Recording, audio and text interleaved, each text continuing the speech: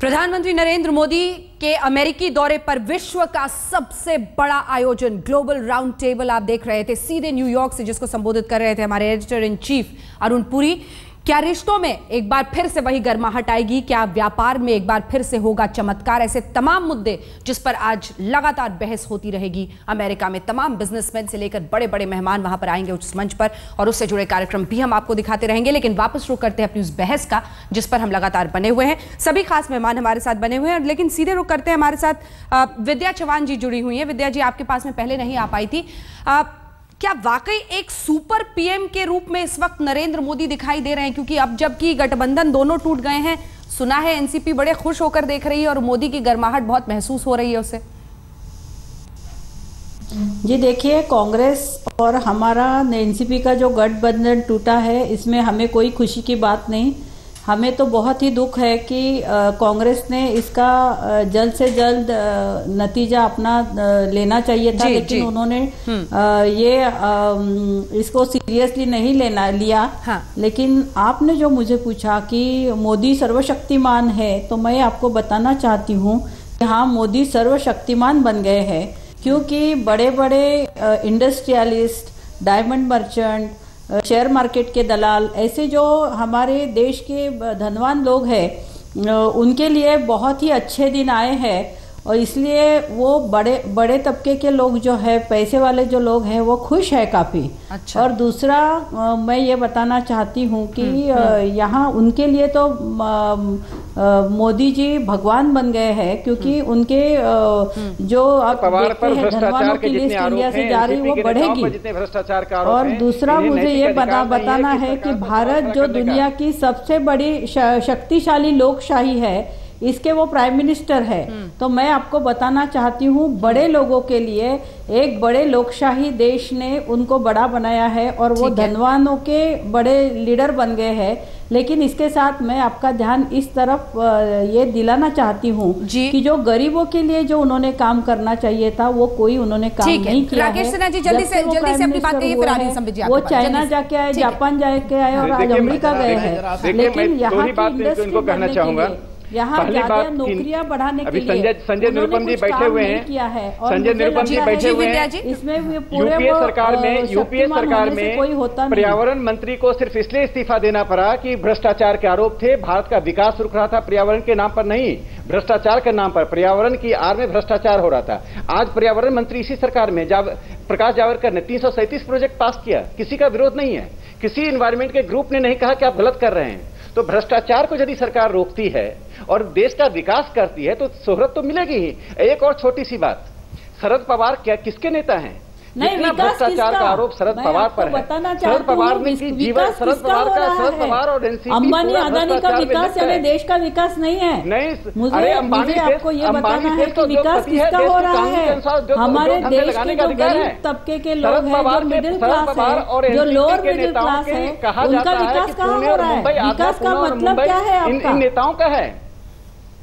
भ्रष्टाचारियों की पार्टी है। एनसीपी की का जब एक एक शब्द दिया जाए तो ये भ्रष्टाचारियों की पार्टी है।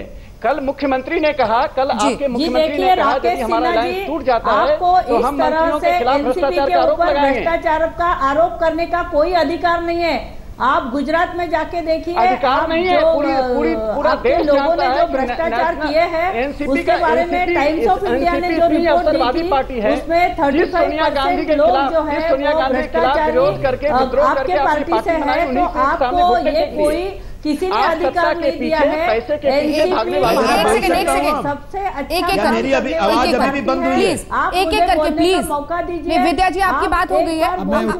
विद्या जी आप भी एक बार बोल चुकी है। प्लीज़ विद्या जी। मेरी पार्टी के ऊपर इस तरह से आरोप करने का कोई अधिकार नहीं है।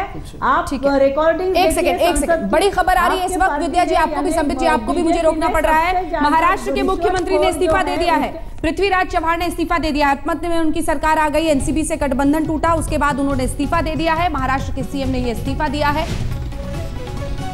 अब, उसके बाद क्या वहाँ पर राष्ट्रपति शासन लागू किया जाता है? वो अगला कदम हो सकता है, लेकिन इस बीच हम आपको बता दें एनसीपी ने सरकार से समर्थन वापस लिया था, जिसके बाद अल्पमत में पृथ्वीराज चौहान की सरकार आ गई थी, और अब महाराष्ट्र के सीएम ने इस्तीफा दे दिया है। बीते दिन दोनों ही गठबंधन। पंद्रह साल पुराना ये गठबंधन है महाराष्ट्र में कांग्रेस और एनसीपी का। लेकिन बीते दिन इसका ऐलान किया गया कि गठबंधन समाप्त किया जाता है उसके बाद अल्पमत में सरकार और अब इस्तीफा। जी संबित जल्दी से। देखिए मैं तो जी भी बोलना चाह रहे हाँ हाँ मैं दो तीन विषय कहना चाहता था। देखिए अंजना जी मैं तो आप दाद दूँगा आप बहुत भोली हैं। आपने विद्या जी को पूछा कि क्या सर्वशक्तिमान हो गए हैं मोदी जी अब बताइए आप पवार जी के पावर को अगर विद्या जी से अलग कर देंगे कि पवार ही सबसे पावरफुल है वही मानते हैं हम्म। आप अगर मोदी जी के बारे में बोलेंगे तो वैसे ही बोलेंगे एनसीपी का मतलब है नॉन स्टॉप करप्शन पार्टी जिस प्रकार से उन्होंने नॉन स्टॉप करप्शन किया है वहाँ हम्म। पे ये पूरे हिंदुस्तान ने देखा है दूसरा संजय निरुपम जी कह रहे थे ये झाड़ू उठा के हम लोग फ़ोटो अप कर रहे हैं हाँ। फ़ोटो अप अपॉर्चुनिटी है हाँ। मैं आपको याद मैं संजय निरुपम जी से पूछना चाहता हूँ राहुल गांधी जी एक चुराए हुए मोटरसाइकिल में कहीं गए थे हाँ। वो याद है आपको और फिर बेलचा उठा के राहुल जी पे अटक नहीं नहीं उनके नेता जानबूझ के जैसे हमारे मोदी जी हैं उनके राहुल जी तो है ना नहीं है तो मैं नहीं करूँगा उनके ऊपर। बताए संजय निरुपम पे ही बोलना शुरू कर दूँगा। वो बेलचा उठा के घूम रहे थे कि देखो मैं लेबर बन गया हूँ। वो बेलचा वाला क्या फ़ोटो अप था? और फिर तीसरा मुंबई के लोकल ट्रेन में मुंबई के हैं संजय निरुपम जी आप पूछिए मुंबई के लोकल ट्रेन में दो तीन दिन घूमे ये सब फ़ोटो अपॉर्चुनिटी था, था क्या? कि इसके पीछे कुछ विजन था? संजय निरुपम जी इस पर कुछ लाइट डाले। जल्दी से जल्दी से संजय जी जवाब दीजिए फिर प्रेम शुक्ला जी भी जुड़ गए। नहीं नहीं जल्दी से नहीं बोलूँगा मुझे दो तीन बातें कहनी है अच्छा। सबसे पहली बात मुझे हाँ, राकेश सिन्हा जी ने हाँ। जो पूरी बातचीत को एक अल...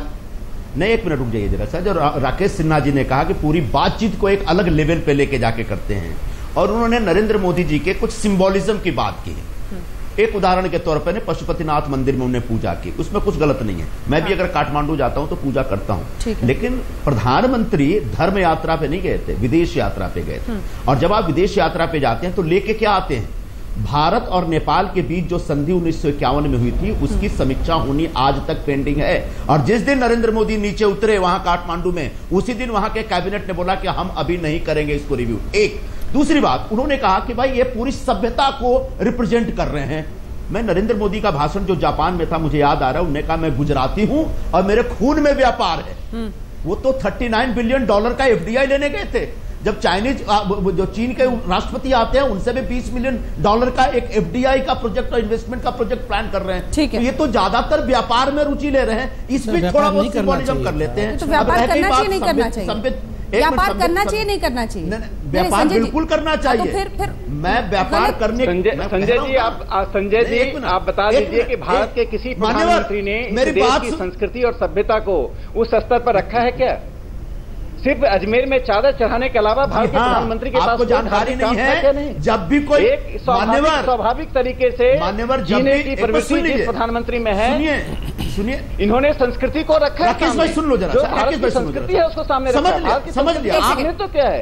वो सिर्फ़ प्रधानमंत्री राजनीति के नहीं है? आप दोनों को रोक रहे एक सेकंड आप दोनों को रोकर संबित पात्रा जी मेरा सवाल आपसे संबित पात्रा जी मेरा सवाल आपसे आप ये कह रहे थे राहुल गांधी ने बेलचा एक सेकंड लौट राहुल गांधी ने जो बेलचा उठाया आप कह रहे हैं वो ड्रामा था।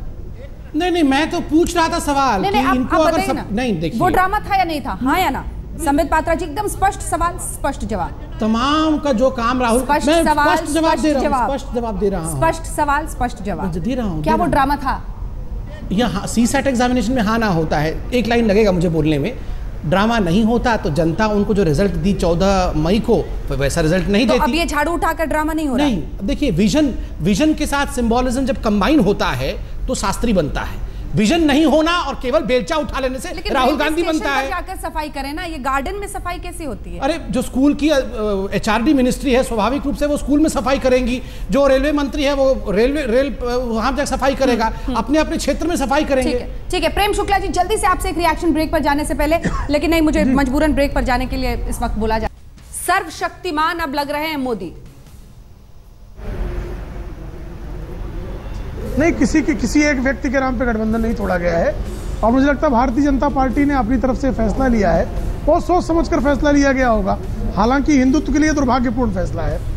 लेकिन प्रेम शुक्ला जी वो सोच तो ये रहे ना कि नरेंद्र मोदी के नाम पर वो जीत जाएँगे वहाँ पर उन्हीं की सरकार बनेगी। उनको सोचने की स्वतंत्रता है। नहीं पर वो सर्वशक्तिमान दिख रहे हैं या नहीं दिख रहे हैं इस वक्त? जिस तरह से उनके लिए अमेरिका में लोग कालाबाजारी कर रहे हैं टिकटों की जिस तरह से उनके मंत्री सड़कों पर उतर रहे हैं। नहीं हम तो तब भी उनके समर्थक थे जब अमेरिका उनको वीज़ा नहीं दिया करता था। तो हमको तो अच्छा ही लग रहा है कि अमेरिका ने वीज़ा दिया है हमारे दोस्त को। बुरे दिन में साथ दिया था संबित पात्रा जी। आदित्य ठाकरे ने भी कल ट्वीट किया। हम तभी हम आज भी उनका सम्मान करते हैं। तभी हम आज भी उनका सम्मान करते हैं और जो ये अलायंस टूटा है ये बहुत अनफॉर्चुनेट हमारे तमाम नेताओं ने कहा है बहुत अनफॉर्चुनेट लेकिन आपको वाकई लग रहा है सिर्फ़ नरेंद्र मोदी के नाम पर आप महाराष्ट्र में सरकार बना लेंगे? देखिए मतलब इतनी इतनी सीटें आ जाएँगी? नहीं देखिए इसमें कोई पृथक मिथ्या नहीं है कि नरेंद्र मोदी हमारे सबसे टॉल लीडर हैं और उनके मेरे सवाल का जवाब। मैं वही बता रहा हूँ हाँ। सवाल का जवाब यस और नो में नहीं होता है कुछ और फैलाव उसमें आवश्यकता है। हाँ। मगर देखिए महाराष्ट्र में हमने एक ही मकसद है कांग्रेस और एनसीपी मुक्त महाराष्ट्र जिस प्रकार से पंद्रह वर्षों से एक हमने वहाँ पर जंजाल नहीं, नहीं गठबंधन तोड़ के सरकार बन जाएगी। गठबंधन ये, ये बताइए अकेले लड़के आप बहुत दुख है गठबंधन टूटने का बहुत दुख है और हमारे तमाम नेताओं ने कहा है टाइम कॉन्स्ट्रेंट था क्योंकि नॉमिनेशन भरना था बात कहीं नहीं पहुँच रही थी मगर आज भी हमारा सम्मान है और अब मेरे भाई बैठे हैं यहाँ पे प्रेम शुक्ला जी मैं बहुत सम्मान से तुमको नमस्कार करता हूँ। जल्दी जल्दी रिएक्शन सबसे ज़्यादा। प्रेम शुक्ला जी आपका रिएक्शन इस पर। जी। नहीं मेरा भी जो है पात्रा जी को नमस्कार।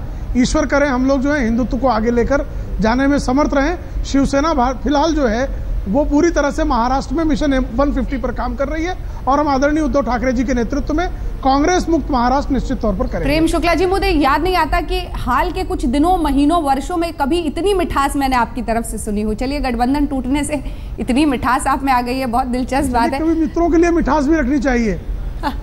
जल्दी जल्दी से विद्या जी एक लाइन में लेकिन आपको बात खत्म करनी होगी देखिए मैं जो हमारे प्रवक्ता भाजपा के पात्रा जी वो बोलते हैं एनसीपी और कांग्रेस मुक्त महाराष्ट्र। उनको बोलना ये महाराष्ट्र एनसीपी मुक्त कभी नहीं हो सकता है क्योंकि ये पुरोगामी महाराष्ट्र है। फुले शाहू अंबेडकर की विचारधारा मानने वाला है। और जो जिस तरह से साई बाबा के ऊपर हमला बोल किया है शंकराचार्य ने और ऐसे बाबा लोगों से भटक रहे से भटक रहे मुद्दे से भटक रहे राकेश जी कंक्लूडिंग रिमार्क इनको कोई मुद्दे से भटक रहे राकेश जी कंक्लूडिंग रिमार्क जल्दी से। देखिए मैं इतना ही कहूँगा कि गठबंधन तो उतना दुखदायी है लेकिन हम्म। दोनों ही एक ही विचार परिवार के अंग हैं। इसलिए दोनों के बीच किसी प्रकार का भ्रम और मिसअंडरस्टैंडिंग नहीं होगा। राजनीति में कभी कभी होता है कि दोस्त भी आपस में लड़ जाए हाँ। लेकिन राजनीति में ऐसा भी होता है कि एक वक्त पर संघ की तरफ़ से ही कहा गया था कि हिंदुत्व के नाम पर यह गठबंधन बना रहना चाहिए लेकिन बावजूद उसके इस विश्वास के साथ कि नरेंद्र मोदी के नाम पर महाराष्ट्र में हमारी सरकार बन जाएगी, तोड़ दिया गया गठबंधन को क्या सर्वशक्तिमान हो गए हैं? क्या संघ, बीजेपी सबसे बड़े हो गए हैं? एक व्यक्ति, बहरहाल इसी सवाल और उसी के आपके मन में जो जवाब है इसका उसी के साथ आपको छोड़े जाते